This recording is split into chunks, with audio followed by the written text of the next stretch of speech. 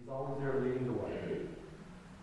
So hopefully, that helps you see a little bit about Joshua, and, and, I mean, I just love, Joshua's a cool dude, man. I just, I love Joshua, and I love the book of Joshua. And, you know, it, it talks uh, a lot about, about Moses and, and him passing on the torch and stuff, but, but Joshua is an amazing, uh, an amazing guy, an amazing time in the nation of Israel. And we are in an amazing time in the life of the Arabic Baptist Church. We're in a big transition time, but it's a really good transition.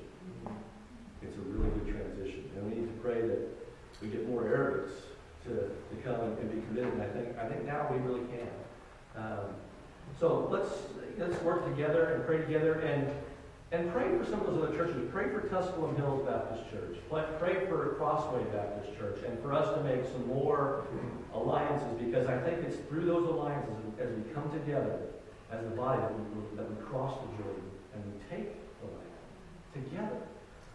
It's not for any one church, it's not for any one denomination. It's for us together as the body of Christ to do that. That's been my dream since I stepped foot in Murfreesboro like 18 years ago. To see the body of Christ crossing the river together. And, and we're a part of that. Arabic Baptist Church is, is a big part of that and can be a really consolidating part of that, an encouraging part of that. So let's pray together.